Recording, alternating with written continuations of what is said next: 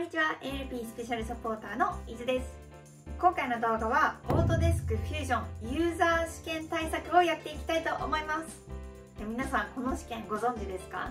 学生の方もそうでない方も受けられる試験なんですけどこの試験は大学進学や就職昇進や認定資格のレベルアップなどあなたがエンジニアとしてのキャリアを積んでいく上でオートデスクフュージョンの必要十分なスキルを習得することを証明する試験になっております。幅広くフュージョンの基礎的な問題が出題されるテストになります。合計37問で出題され最大50分の試験時間内に解いていただく試験になります。で基本的な出題形式は選択方式でで大体ですね、まあ、4択とか6択、まあ、その問題によって違うんですけどそれぐらいの選択肢の中から適切なものを選んでいく試験方式になります、こちらの試験オートデスク認定試験センターで購入可能な試験対策本だったりとかあとはトレーニングセンター ATC での試験対策講座の受講も有効になっております、え目指す方はぜひねそちらの講座など検討されてもいいと思います。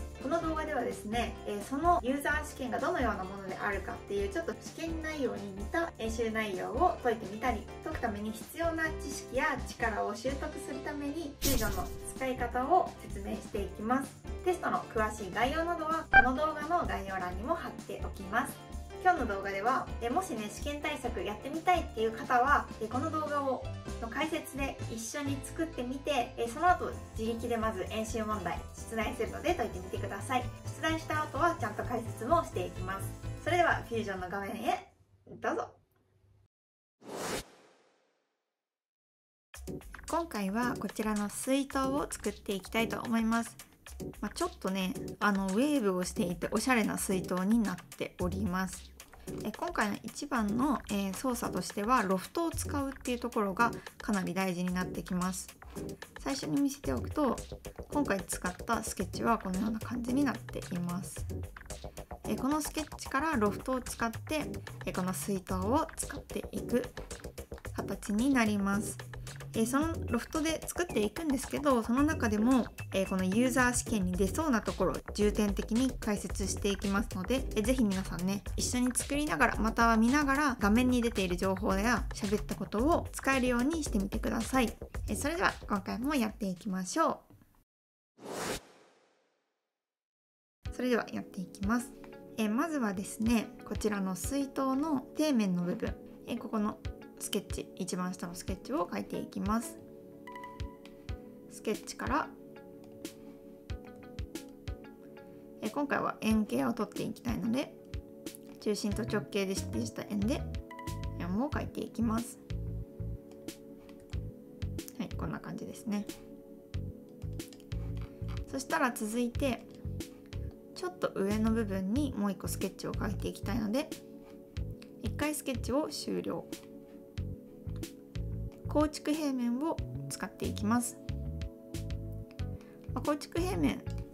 ご存知のない方のために言っておくとスケッチを描くときにえまず平面が絶対に必要となっていくので空中に浮いてる基本的な原点を基調とした XYZ 軸以外の平面に描きたい時はこの構築平面を使っていきます。今回はオフセット平面を使って XZ 軸から高いところに構築平面を置きます。今回はまあ寸法とかは少し無視していきます。で構築平面を描いたらもう一度ここにスケッチを取ります。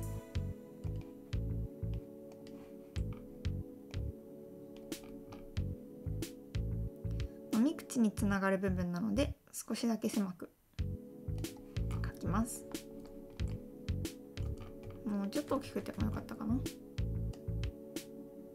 いこんな感じですかね。スケッチを取りました。そしたら今左にあるこのブラウザを見てほしいんですけど今は表示されているものは原点。そして先ほど書いたスケッチ。そして先ほど書いたこの構築平面。ま構築平面はコンストラクションっていう風に表示が切り替わるんですけどえー、この3つが出ています。まあ、他にも出るとしたらこの検査だったりとか検査で断面解析とかするとねまあ、今スケッチだけなんで見えないんですけど解析が追加されたりという風になりますブラウザに出てくるのは何か操作をしてオブジェクトなり線なりを形として残した時に基本的にはこのブラウザに追加されていく形式になります下の部分は履歴が残って一番最初に書いた面、構築平面、えこの2回目に書いたスケッチっていうのが出てきます。まあこの UI の問題とかもね結構出てくるのでどこに大体何の情報が出るかっていうのは覚えておくといいです。先に進みます。え続いて今回はこう少しだけ湾曲してるような線を描いていきたいと思います。もう一回スケッチを取って今度は真横からスケッチを見る形にします。フィット点スプラインで書いていきたいんですけどこの時すごく大事なのがこの円とスプラインがつながっているかっていうのがすごく大事になってきますのでそれをしっかり意識しながら点を取っていきます。こうねピタッとしっかりつながっているかっていうのが非常に大事です。チェックボックスを押すと線が確定します。線を選択している状態を解除したいときはキーボードのエスケープキーを押してください。はいちょっとベイビーな線が描けました。ちょっと形を整えていきたいので調節していきます。なんかねここは飲み口なのでちょっとまっすぐ目に取ってあげると綺麗かも。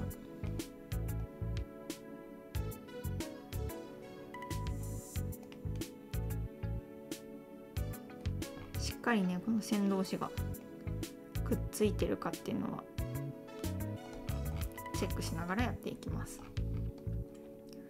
ああんまりねウェーブにしなくてもいいんですけどこんぐらいかな。ウェーブにしました。そしたらロフトを続いて取っていきます。作成からロフトをクリック。底面と上の面をつなげたいのでそのままクリック。そうするとまっすぐつながります。普通につなげるとこうなるんですけど今回は先ほど書いたこの曲線に沿って形を作っていきたいのでレールで矢印を選択。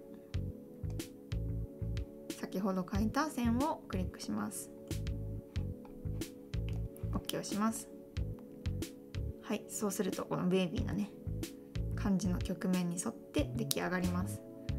もしこの線を少し形変えたい時はもう一回スケッチを戻って調節していくとそれ通りに動いてくれますね。そしたら最後仕上げにシェルで中をくり抜きます。3mm とか 2mm とかかな。OK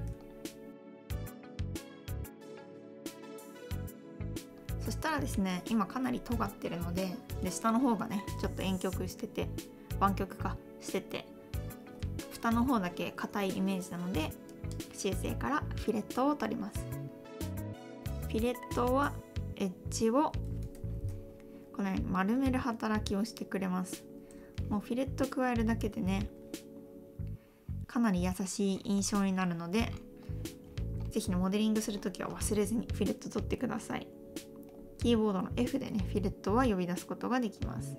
はい可愛い感じになりました。またフィレットを今選んだんですけどその他にも、えー、この2つ選択肢がありましてフィレットは丸める形。面取りはですねこのエッジを鈍角にこういう風に丸めてくれる働きがあります。これよくあのー、工業製品とかでも見られますね。フィレットは柔らかい印象になる一方で面取りはちょっと何て言うんですかねかっこよくしてくれます。形のシャープさが出るので、まあ、あの作るものに合わせて選んでもらえるといいと思います。はいということでモデルを作ってみました。最後レンダリングするとこのような感じになります。え他の動画で解説してるんですけどグラデーションなどを入れるととっても綺麗になります。蓋の、まあ、ネジをつけるとことかはやらなくてもいいんですけど、えそれ以外の部分を是非作れるようになってみると次の問題に答えられると思います。えこのモデルいろんな見方も Fusion 360の中ではできまして、えこの画面の下にある、えこの操作のねバーがあります。いろいろ操作方法としてはあるんですけど、え例えば表示方法の中から、えこのワイヤーフレームだけ見たいっていう時は表示スタイルからワイヤーフレームを選ぶと中の構造だけ見ることができます。またこれをね両方見たいっていう時はいつも使ってる、え操作画面。シェーディングだけだと、え不必要な線が消えます、え自分のねやりたいことに合わせて表示スタイルは変えられるので是非ね自分が使いやすいものでやってみてください。え他にもですね今カメラ正当円になってるんですけどこれをパースに切り替えると何て言うんですかねまあ普段見てるような視点で見ることができます。えこうね下から見るとえこの上の蓋は遠いのでちっちゃく映ったりこれをね正当円に変えるとこのように一緒の大きさになります。パースがかかってない状態とパースがかかってる状態っていうのを使い分けることができます。え作ったモデルもいろんな見方があるので下でお好みの操作をしてみてください。ブラウザに表示することができる項目を次の中から全て選択しなさい。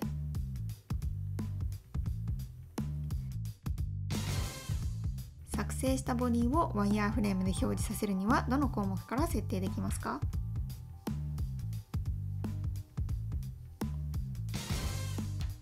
図のロフトを作成することに必要な操作を全て選択しなさい。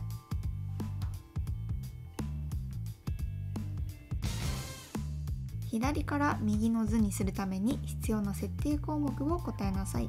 なおこちらの画面ではプロファイルは2つ選択されている状態になっています。は以上になります。皆さん解けましたか？続いて答え合わせをしていきます。第1問の答えはこの3つです。実際に見てみます、えー、動画の方でも紹介したのですが、えー、あの選択肢の中から選ぶとすると、えー、構築平面のこのコンストラクション続いてスケッチそして原点を表示することができます。この3つが答えになります。続いて第2問。答えは1になります。ワイヤーフレームで表示させるためには表示スタイルの中からワイヤーフレームを選ぶことで表示することができます。多分デフォルトの設定はシェーディングでエッジ表示のみになってると思います。続いて第3問の答えはこの2個です。ロフトの作り方としては、え、構築平面を書いてその後スケッチで3つの平面にそれぞれスケッチを書いていきます。その後ロフトをするという手順で作っていきますのでこの2つが正解です。最後第4問、えー、こちらも最後におさらいしました。第4問の出ているブラウザでは、えー、もうすでにプロファイルは2つ選ばれている状態なのでレールを選んでこの線分をこの曲線をね選択すると右のような図にすることができるのでレールが正解です。はいというふうに解説していきましたが皆さんは4問中何問あったでしょうか？